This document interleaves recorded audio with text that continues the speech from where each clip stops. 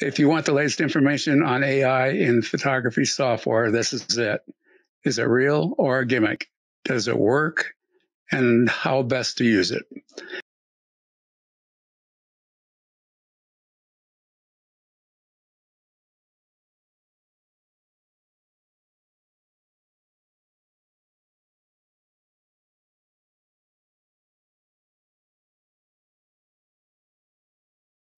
Photography software. Stick around to the end because Jim is going to demonstrate how to use several AI programs. Welcome back, Jim. Always a pleasure. Well, thanks, Kirby. Thanks for having me again. So, uh, discuss uh, what is uh, artificial intelligence and how is it used in photography software in general. Artificial intelligence is machines having been programmed to be quote intelligent end quote or to uh, again in quotes think like people think. Uh, they're they're designed to solve problems um, address issues that if people could think about it we would do it. But instead of having like photographers uh, think about these things in terms of creating software or programming software, creating algorithms. The, the, the machines have already been programmed to do what we want them to do, and it's it's a it's a brave new world. It's pretty remarkable what these brilliant software engineers can make their software do. In terms of photography, there's a lot of problems that we have, like, for example, noise. Noise is a big problem, much, much less now because of this artificial intelligence. Uh, when when we do screen sharing, I want to show you a picture, for example, that originally was unusable. A bird photographed in flight in low light, and I used a very high ISO. Uh, in fact, let me let me tell you what it is right now. I used um, yeah, in an astonishing twenty five thousand six hundred ISO, and the, wow. the noise. The, uh, yeah, it's incredible. The, the noise was huge, like cannonballs. Plus, the bird was small in the frame. So I cropped it. I got rid of the noise, and I took a picture from being unusable. You know, you, you would never ever submit it to a publication. You wouldn't even show it to your good friends uh, unless you were showing what could have been and wasn't. And I took that picture using the artificial intelligence software and made it beautiful. It's incredible. Which uh, software do you like for that? Topaz. Uh, the Topaz software is in, in my opinion, beside Photoshop, the best. Uh, they have several AI softwares. For example, they have Denoise, which removes noise brilliantly. They have Gigapixel, which reses up an image. So if you have, let's say, a 60 megabyte file, and the bird is small in the frame, and you crop it down to you know, let's say 13 megs. So it's significantly cropped. You can take Topaz Gigapixel and res it back up to dizzying heights, basically um, 80 megs, 160 megs, whatever you want. And it it interpolates the pixels that you kept in, in when you cropped it and uh, gives you a, a high res file that that is in most cases quite impressive. There's also a sharpen. And so a lot of times you're using these things in combination. So for example, if you res up a picture, maybe you want to sharpen it a little bit. Maybe you want to take away the noise. And so the, the mostly these three uh, software programs from Topaz. They have others too, but Denoise, Gigapixel, and Sharpen are the three that uh, can take a picture that is, like I said, unusable and make it beautiful.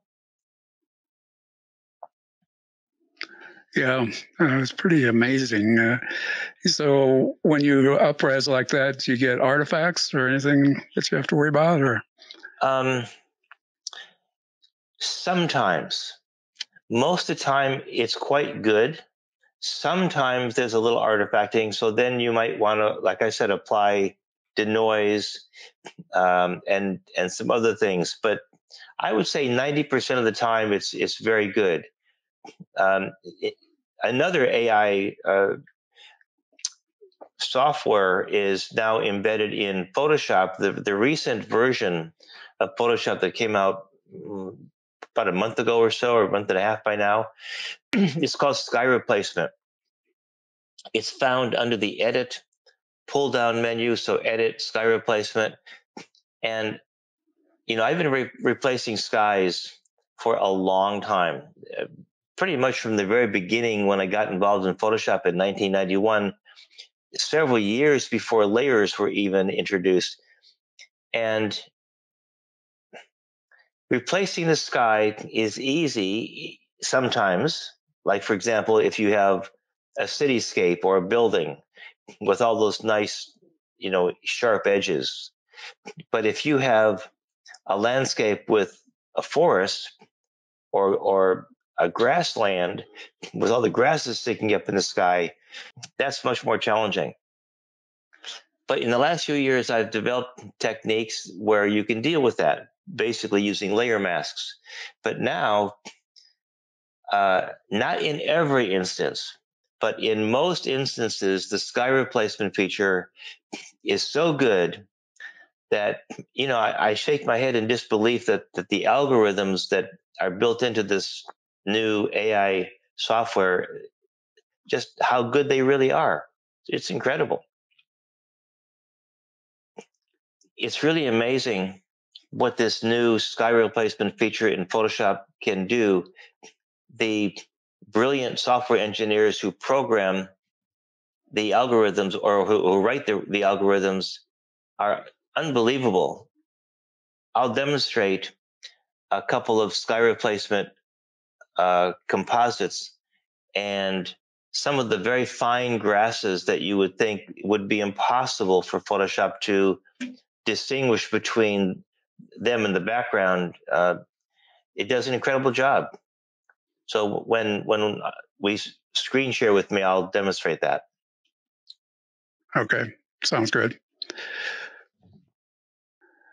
So uh, obviously, you feel like uh, AI software is uh, is real and a definite improvement. Uh, I know there initially when they came out, there were some skeptics that thought it was just a scam, but I think uh, the last year or so has kind of proved the contrary.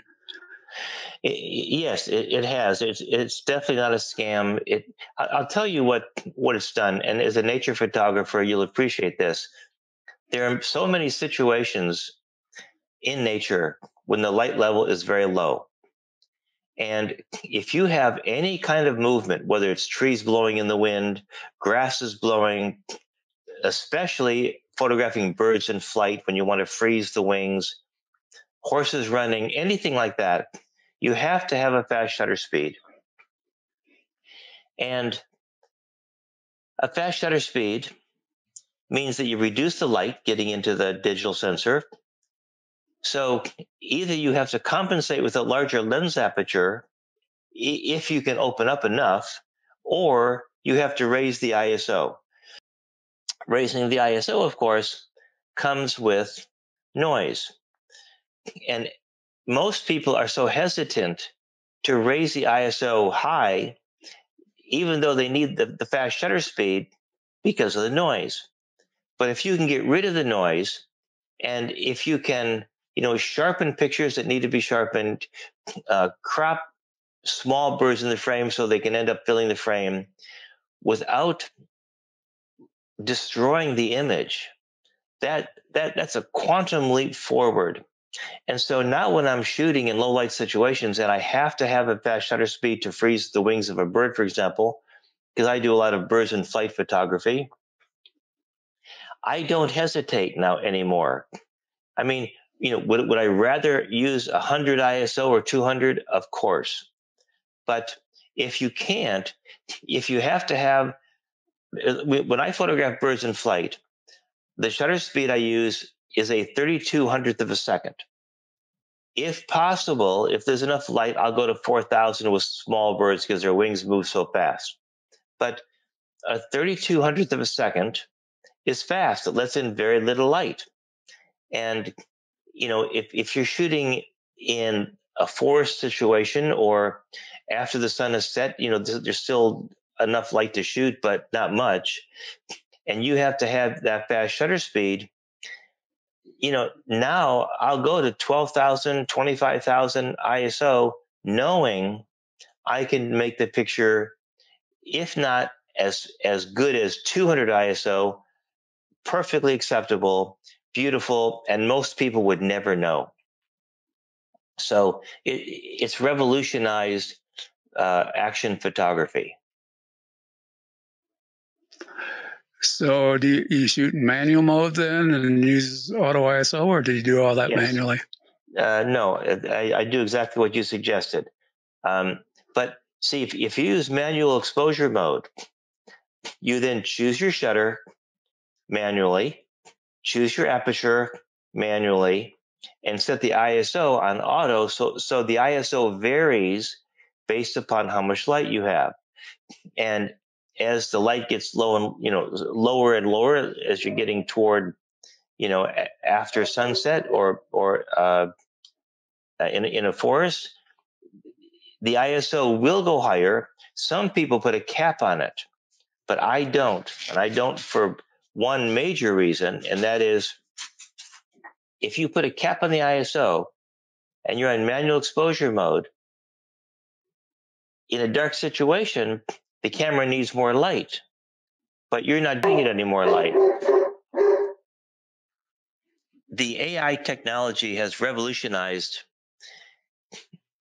action photography because you can have your cake and eat it too. In other words, you can have your fast shutter speed, relatively small lens aperture, and you don't worry about the ISO because you know you can deal with noise later the when when you have your camera on manual, you choose your shutter manually, you choose your lens aperture manually, mm-hmm. and the ISO varies. And I don't cap it because if you put a cap on it, let's say I'm not going to let the ISO go above 4000. But if you're on manual, that means that you're, if you need to go above 4000, but the camera can't do it because you locked that in place, your pictures are going to be too dark. Unless you compromise on the shutter or, and or you compromise on the aperture. So if the camera wants to go higher than, let's say 4000, you can slow the shutter down so instead of a 32 hundredth of a second, you could go to a 2000th or a 1600th or a thousandth. But if you're shooting a bird, those wings are going to be blurred. And if you don't want the wings blurred, then you have to let the ISO go high. And that's why I never cap it. Yeah, that makes sense. It's, uh, it's amazing uh, how much you can do now uh, like that, uh, particularly with the higher ISOs. Uh, cameras have gotten better, and the and the software's gotten a lot better. Yeah, it's it's incredible. I mean, you probably were into photography when you shot film, and back then, you know, 400 ASA or ISO, 400 was grainy and and most people wanted to stay away from it. In fact, I did all my nature and wildlife with a hundred. Well, well, nature landscapes with fifty ISO, and wildlife with a hundred, because I didn't want the the excess noise. And of course, back then you couldn't do anything about it. And so now to be able to use twenty five thousand, you know, it's just simply outrageous. Yeah. Yeah, I remember those days uh, very well. so, uh, what other uh, AI software do you use? Have you used Luminar? Yes, I've I've used Luminar and it's very good. But in my opinion, the new sky replacement feature in Photoshop surpasses Luminar. So I haven't used Luminar now for quite a while because the sky replacement is it's amazing and, and easy, so easy. So the AI software I use, uh, the sky replacement and and Topaz, and at the moment that's that's all I need. Okay. So uh, AI and uh, Photoshop also has some uh, other tools uh, like refine hair and object aware refine mode. Do you use any of those, or if not, why? Well, you know, uh, I can use them on occasion, but whenever you see them demonstrated, like on uh, YouTube, you know, the various tutorials, they always show a, a, a female model brunette against a white background or a blonde against a dark background. But if you're photographing models in a studio, yeah, you, you, can do that. Of course, if you're photographing models in a studio, why not just use green screen? But in the real world, uh, travel photography, nature photography, the kind of photography that most people listening to, to this podcast want to do, uh, it doesn't work. If you photograph a person or uh, an, or an animal, you know, against the background of a, of a forest, well, the software can't distinguish in the hair to to separate the hair from the background. Um, you asked what other uh, software AI software I use, and there is one more. It's a it's a Topaz filter. It's called Mask AI. It used to be called um, was it uh, Topaz? Um, what was it? Gosh, I just, I forget right now. But it's now called Mask AI, and it it's the only thing that can consistently separate hair from the background. It's not perfect. If the animal or the person has ultra fine, wispy kind of hair, it usually can't get that. But the main body of hair it'll get. And I, I can show you some examples of that as well. Um, okay. Again, it, it's not perfect, but it's the only thing we have uh, that that can deal with tough backgrounds. Uh, can you replace the background and then use something like that, or that doesn't work either? No, no, you you you you can't do that. Uh, okay. I, I do I do replace the backgrounds, but there's a tool in Mask AI. There's a blue brush, and that is the tool that you go over the edge of your subject to tell Photoshop, here's the border, here's the demarcation line between subject and background. And then the software does its best to separate them with a selection. You can go in and tweak it if, if it uh, doesn't do it perfectly, but there are some situations that are just so difficult. I mean, for example, you know, a, a white polar bear against a white sky.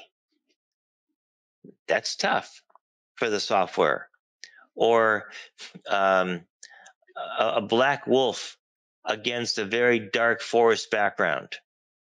It's very difficult for the software to distinguish that. And sometimes a shadow, for example, will blend with the black hair so the tones are so close that you can hardly see them with your eyes. And so how can the software know where that, you know, one ends and the other begins? So there's all kinds of situations, but for most circumstances, this AI software is, um, well, like I said, revolutionary. Well, why don't uh, we go ahead and share your screen and uh, let's uh, see some of this in action. Okay, So let me push this.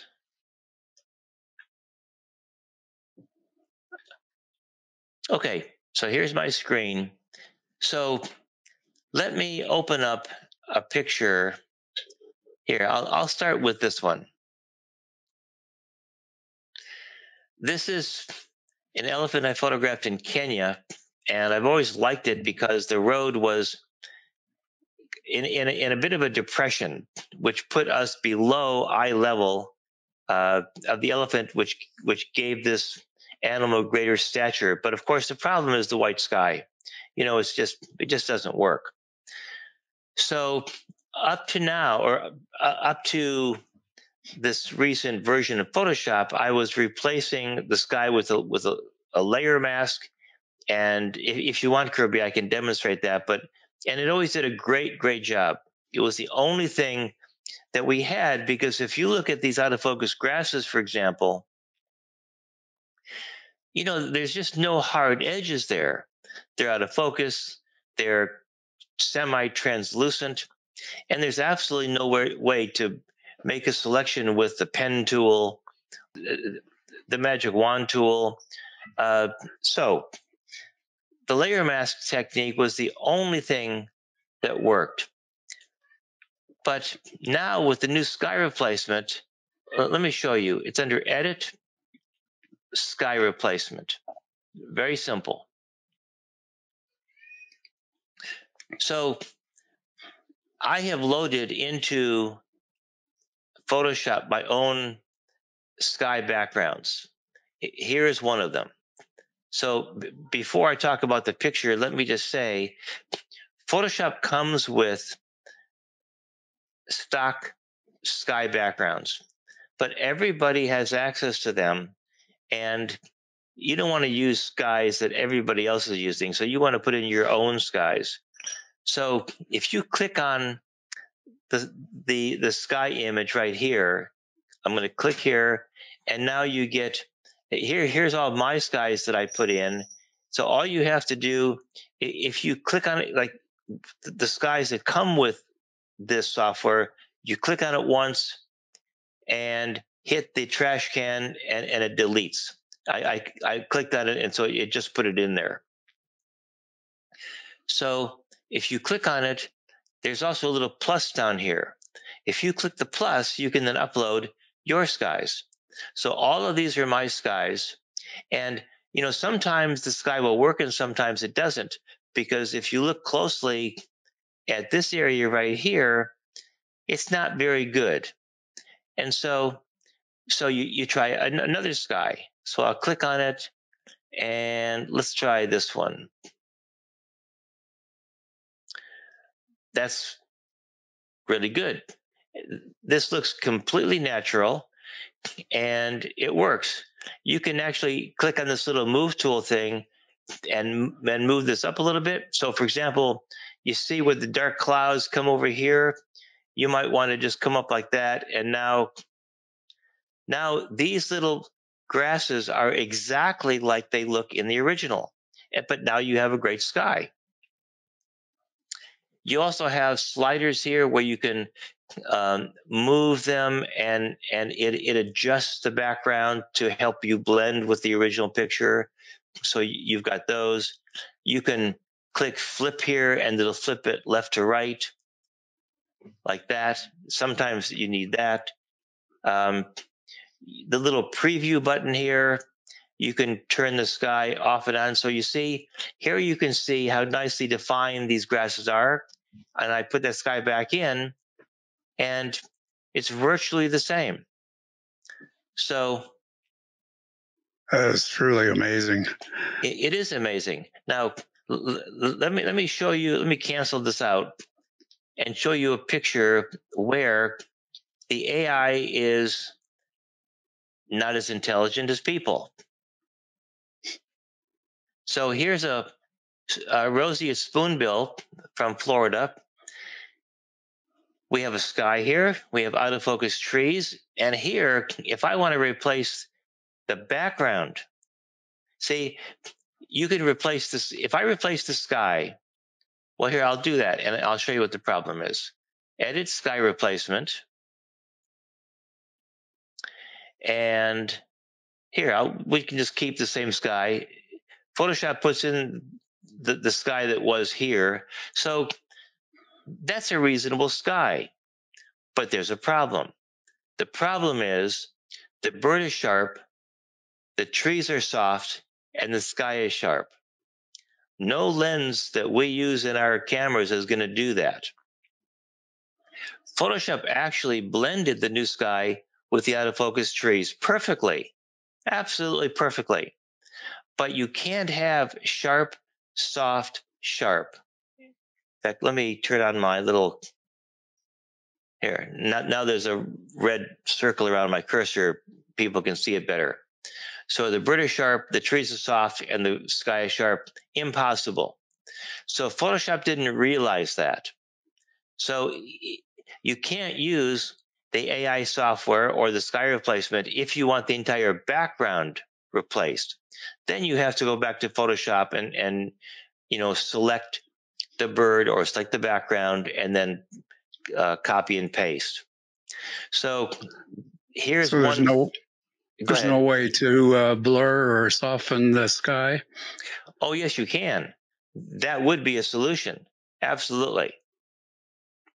When you use a telephoto lens, like I shot this with a 500, uh, the, the the spoonbill.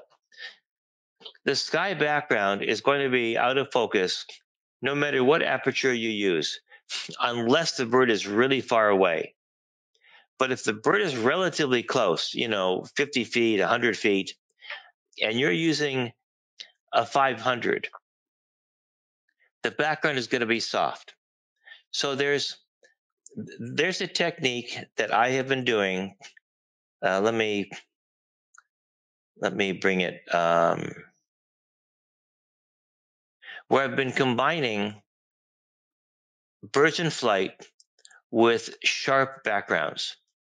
And to be honest, it's it's it's what we see because we never see out of focus backgrounds. That's a man-made construct. Mostly when you shoot birds, you have backgrounds like this. You know, that's that's not bad, but it's not great. Uh, even even if this background is okay. Um, so let's see. Here's a this is from the Pantanal in Brazil. It's a capped heron. The background is, shall we say, uninspiring. So let me take a moment here to turn these. Okay, here.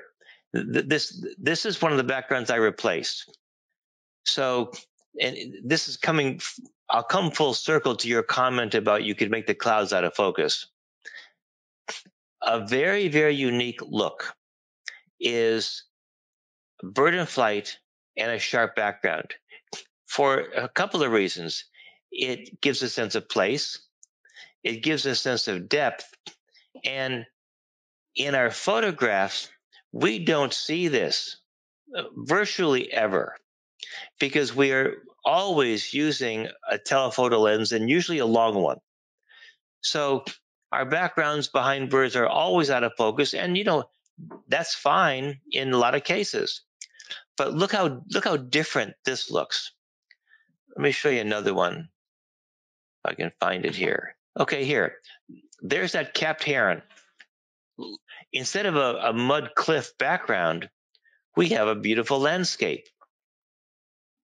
And this looks almost unnatural because we have gotten so used to the man made construct of out of focus backgrounds with telephotos. But if you were standing there, this is what you would see a sharp bird and sharp background because with our eyes, we never see out of focus. So uh, there was one other one that I wanted to show you here. Okay, look at uh, here's a capped heron in flight. It does go out of focus back here, but th- this bird was photographed against a very busy jungle environment because it had just taken off from a branch. So that is a look that I really, really like. And so, getting back to your comment about the, the spoonbill, when you know, could you make that bracket out of focus like the trees? Absolutely. And that would be legitimate and perfectly fine and, and a probably a very nice picture. But if you can put a nice background in there, you, you just sit back in your chair and you go, wow, that's incredible. So that's my long answer to your question. I think in uh, Luminar, when you do sky replacement, that you can uh, blur the sky or change the, you know, the brightness and the density of the sky and that sort of thing. I don't know if you can do that in Photoshop or not. Oh yeah, you, you can absolutely. Uh, easy. Um, I can I can demonstrate that if you'd like. Um, but but let me let me show you right now more of the AI capability. Here's a picture. This is a a female honey creeper from Costa Rica. You can see the little edge of the corner of a table. It was coming in for uh, where, where there was some food placed for the birds. This is 25,600 ISO. You can see the noise now, but but look look at it. It's horrible. And if you look at the picture here, it's just unusable. You know, you you would you wouldn't show that to your worst enemy. Look at that. Terrible. Okay. Let me show you here, let me grab the after version. Um, okay, here it is. There. Okay, so here is the version. Look, look, look at. Wait, let, let me blow this up.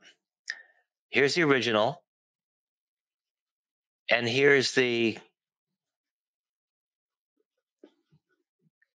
uh, version after I applied gigapixel because if you look at the bottom here, can I magnify? Yeah, see 83 megs. And this one, let me see, when I cropped it,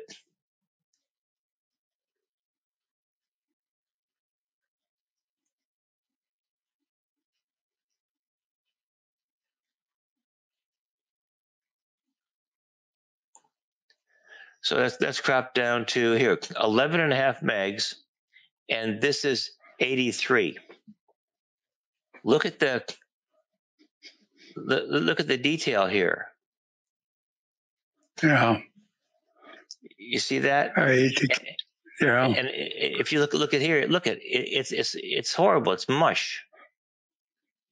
So I res it up with uh, gigapixel AI, and then I sharpened it with sharpen AI, and then I took away the noise. I, I th- actually I, think I took away the noise first with denoise AI. So three different Topaz programs took this picture, which is useless, to this picture, which is beautiful. And, and by the way, you can see right here with the, with the tips of the wing feathers, my shutter speed here uh, let me double check. Was oh okay, it, it was a a twenty five hundredth of a second. Usually I use thirty two hundredth of a second, but as you can see, it was so dark because because I'm at twenty five thousand six hundred, and my camera wouldn't go hot. Well, the camera I was using at the time wouldn't go higher than that, so um, I had I had no choice. I had to lower my uh, shutter speed to 2500th, and the price I paid was blurred wings. Now, some people, clients have said to me on some of my tours that they like when the wingtip feathers are blurred because it suggests motion. Okay, you know that that's a subjective uh, viewpoint. I don't. I think it's just intriguing when we can see birds in flight sharp because we, we can never see that with our eyes. Cameras can reveal something to us in nature that, you know, is beautiful and fascinating. and there's just no way we can see it with our eyes. So that's why I like it sharp. But but that's that's the price you pay when you compromise on your shutter. And sometimes you just have no choice. I hate to keep using the word amazing, but it is it, is truly amazing. It, yeah, it, it is amazing. Um, and I, I here let, let, me show you another picture. Uh, this was taken. I do a well, except for this year because of the lockdown. Um, in, I go to Canada every year and photograph snowy owls, and um, they're they're just magnificent birds. And I use the same. Let's see, where is it here? Uh, I use the same settings, 3200, and I, I I choose my aperture to be f11 because birds have depth. I want the whole bird sharp, and let me see. I got to find it again. Okay. Let's see. Uh, here is the original. So what what was happening here is it was getting late in the day. It was about four o'clock in the afternoon in January, so it gets dark early in Canada, and we were just finishing up shooting the owls, and I had so remember I talked about I did not cap my ISO. It, so the camera's on auto ISO, manual exposure mode. My shutter was 32 hundredths of a second, and my aperture was f11. I had not noticed that the ISO had crept up to 12,800. And as you can see, there's noise there. Not as much as the 25,000, but still, there's quite a bit of noise. So then, let's see.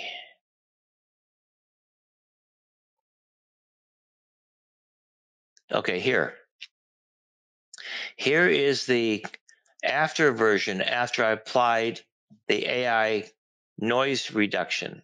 Look at there's no noise at all and the bird is still sharp. I mean, if you look at the background forest, you know, noise shows up mostly in dark areas. Well, this is very, very dark, and it looks like I used 200 or 400 ISO, and it was 12,800. Now, there are some cameras that produce more noise than others. I have a picture taken um, in Africa in very low light, same settings, and the ISO was it was only it was 4000 only 4000 i say only because compared to 25000 that, that's nothing and the noise was so big because i was using the canon 7d mark ii and that camera really should not be used with uh, any iso settings over a thousand but I had no choice. It was dark and I wanted my fast shutter speed. So let's see if I can find it for you. Okay, so let me show you another situation where this AI noise reducing or eliminating software was so good. This picture was taken with my Canon 7D Mark II in Africa. It's a bee eater. And if you blow this up, it's terrible. And the ISO I used here was 4000. So this camera should really never really be used at above a thousand ISO, or else you're going to get into this kind of problem. If you blow this image up, look at this closely not only is there a lot of noise, you, you know, like in a clear, uh, I mean, a, a smooth area or a monochromatic area, you can see it here very clearly, but there's no detail. The noise actually obscures the detail. And I really like the picture, because it's a bee eater in flight and they're very fast and very hard to get. The background, of course, is terrible. So here is the same picture after I replaced the background, but if you look at the bird, it's still not great, but it's the best this could do in this situation. And I, the point I want to make is that if detail is lost, like in this original, lost because the, the noise is so offensive and so so coarse that the software cannot give you back detail that was lost. But what it can do is smooth out the, the appearance of that noise so you have a halfway decent picture. Yeah, there are some situations where the noise is so coarse and it obliterates the, the underlying detail so much that the software just can't fix that. You know, if if if you look at this picture like this, it's it's okay, but if you look at it closely, um, the, the the detail has just not been replaced because the software doesn't know what was under that all that coarseness. So most cameras, though, that's that are using a reasonable ISO can be made a lot better. So I just wanted to make that point. So let me demonstrate how to use one of the Topaz software programs. Uh, in this case, I use Denoise. Um, you can access it either through your filter pull down menu or when you load the software uh, down in the dock, uh, you can see uh, this is Topaz Adjust, Denoise, Gigapixel, Sharpen, and that's uh, Topaz Studio, and so on. So Denoise, so this picture here, you can see, has quite a bit of noise, and this was this was the one taken at 12,800 ISO, I believe. Yep, 12, 12.8. You can see it right there. So what I would do is click on denoise and sometimes Topaz makes you work on a TIFF only. And let's see. This is going to be one of them. Yeah. Okay. So what, what I have to do is close that. And resave this. I'll go File, Save As, and I'll save it as a TIFF file. It would work on TIFF or JPEG, but I never use JPEG files when I'm doing serious editing. So now it'll recognize it. So I go to noise. Can you use that as a plug-in in Photoshop or Lightroom? Uh, yeah. Uh, yeah. Mm-hmm. Okay, so I'll browse and see see now now it's accessible because it's a, it's a TIFF. So I click on it, I go open, and I just let it do its magic.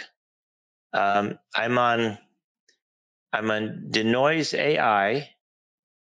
I'm on remove noise, and as you can see right here, it it did it already.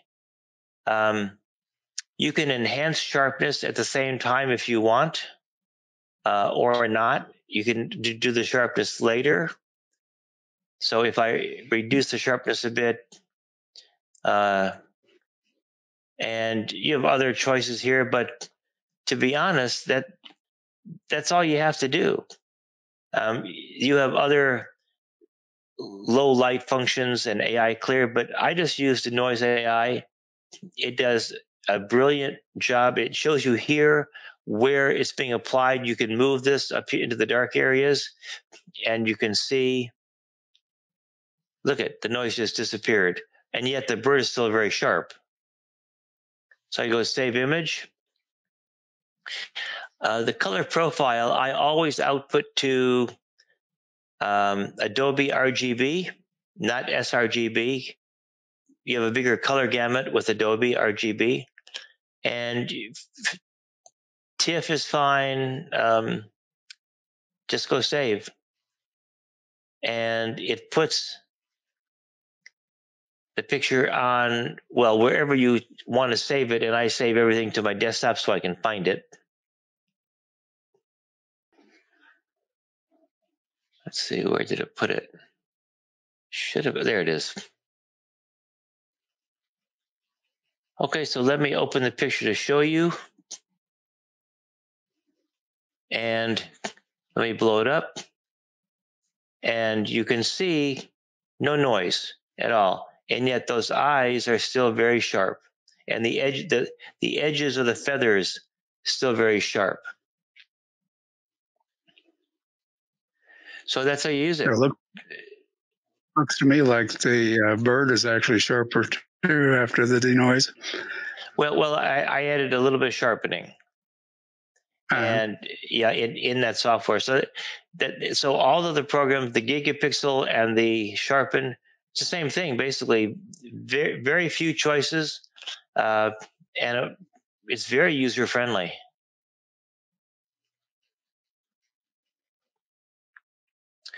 okay okay so let me demonstrate how to deal with hair. And again, remember that this is not absolutely perfect, but it's the best we've got. So here's a polar bear I photographed in Canada on one of my photography tours. And notice something about this picture. You the, the bear is sharp, the foreground is sharp, except for this little piece right here. And from about this point right here to as it goes back into the picture, the depth of field gets less and less. And of course, the same thing over here. So if I'm going to put a back, if I'm going to replace this background, and you know, m- most photographers would be very happy with this picture, say there's nothing wrong with it at all. The out of focus background directs all the attention on the subject, which it does. You know, these rocks are here, but okay, that's just how it was. Um, but I want to show you another way of handling this, uh, similar to what I was showing you with the birds before about having both foreground and background sharp. So I'm going to open uh, Mask AI, Topaz Mask AI with this. So see filter, uh, Topaz Labs, and here's Topaz Mask AI. Here are your brushes. And again, the green represents the area that you want to keep. The blue represents the border between what you want to keep and what you want to replace. And the red represents what you want to replace. So I'm going to make a smaller blue brush uh, you there's a slider. Uh, say when you choose the blue, I don't know where the slider is, but you can you can increase or decrease the size of the brush with the bracket keys. So what I do is first I have to define at the edge of the ice where the sharpness starts to fade away which is about right here. Then I think about right there. So I'm going to draw the line and go up around the edge of the bear.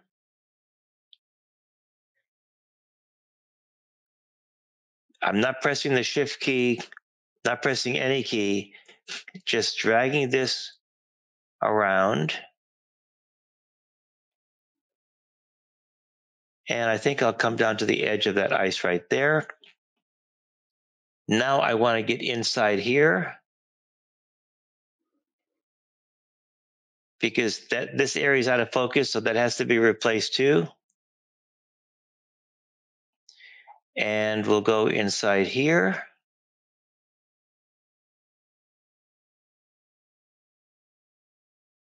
Okay, that wasn't hard. Now we have to fill the areas that we want to replace with red. And it, the paint bucket is you click on it, it expands, and now you click on the red and just go click in here, click here, not holding down any keys at all, click there, and click there. So this defines, here, let me, you have to make sure that your blue goes all the way to the edge. Okay. Um, the mask mode down here, I find AI to be the most accurate. And so that I leave it on AI. And all you do is go compute mask. And Topaz does its magic. Apparently, you don't have to be real precise with those blue lines, huh? No, you don't. I mean, there are some areas with ultra fine hair. You can make the brush smaller, blow it up, and try to be as precise as you can, but generally you don't. So here is the mask, and you can view it in different ways. Um, you can have uh, four panes, so you can see it against the original, what you did, the transparent against black. Uh, black is probably the best. You can see um, the hair defined here and so on. So if, if you accept it, then all you do is go apply. If you want to tweak it, so for example, um, if you click on zoom and let's say go 200%, um, well, maybe 100% there. So you can you can look at the edge critically and see if it needs any tweaking. So okay, here, see right here, the black is bleeding into the white. So you see the fine hair here, but you, you don't want the background to come into the polar bear. So you could click on the green brush because the green is what you want to keep. With the bracket keys, make that really small and just touch right right here. Uh, sorry, uh, not the brush, uh, the um, the bucket the green on the bucket. And so we're gonna because because we're gonna pour the color. Hang on. Um, there, you see what it does? You just touch it here. Whoop, that was too much.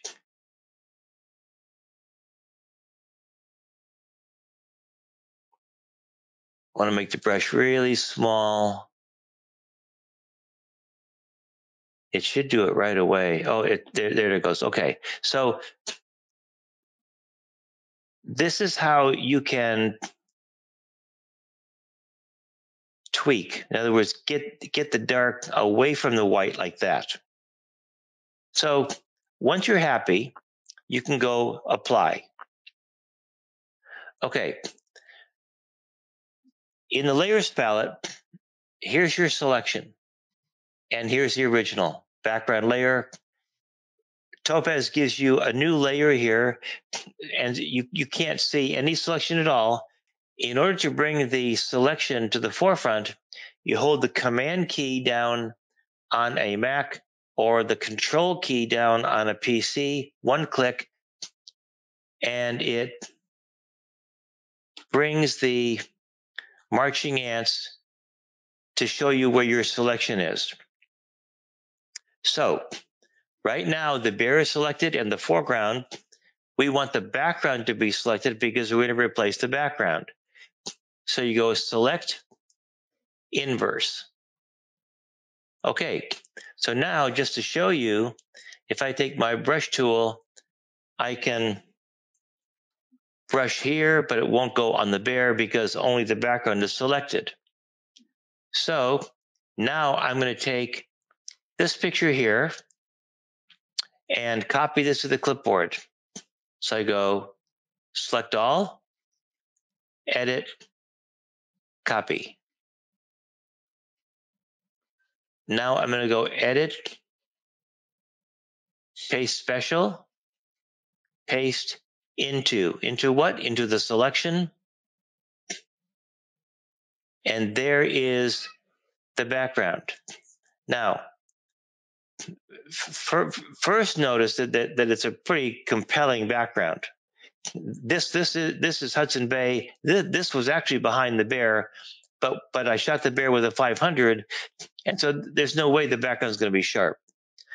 To match the foreground with the background, I would take out some of this blue, but the point right now is to look at what it did with the hair. That's pretty good. Let's look over the whole surface. Look at that. Incredible. Here it got a little mushy. So using the clone tool, you could maybe, you know, clone a little bit out here, you know, like some of this haze kind of stuff out. A little bit hazy here. Really, really good here. Very good here. Very good all throughout here. A little bit mushy here. A little bit hazy here. So you could go back into Mask AI and try to tweak these areas like I showed you. Uh, or you could use the clone tool. And you can also, you could copy and paste. So for example, you could take the lasso tool and copy this section of hair right here and then put it over an area that got a little mushy. So these are some of the tools that you have to use if the composite isn't perfect. But as you can see, most of the periphery of the bear is really, really good. Very impressive.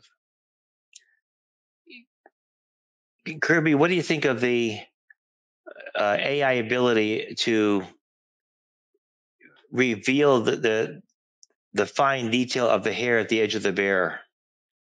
Yeah, it's really impressive. It, it is impressive, and again, it's not perfect. Um, and if you do it with a person, you you you get the same results. You, most of it's very very good, but if there's you know flyaway hairs that are just really fine, um, it it might not capture all of the hair that you want. But there's nothing else that we have that's as good as this. Yeah. I think most people would be very satisfied with that. Yeah, I, I, I would think so. So, um, and and and as a result, you have a, a picture that's you know pretty interesting. If if we go if I go file revert look at the difference. Here, here you have, uh, oh, um, you know, with with the the background there, you have the environment. This way, you have just the bear. So it depends on what you want, but it's a really cool uh, technique. Here is a different bear, and as you can see, I drew my blue line along the edge of the snow here because that, that's well that's what's sharp, except look at this closely. That's this area right there is soft. And so this actually has to be cloned out because you can't go from sharp air to soft to sharp background. So I, I didn't notice this the first time around. So what I should really do is just take this out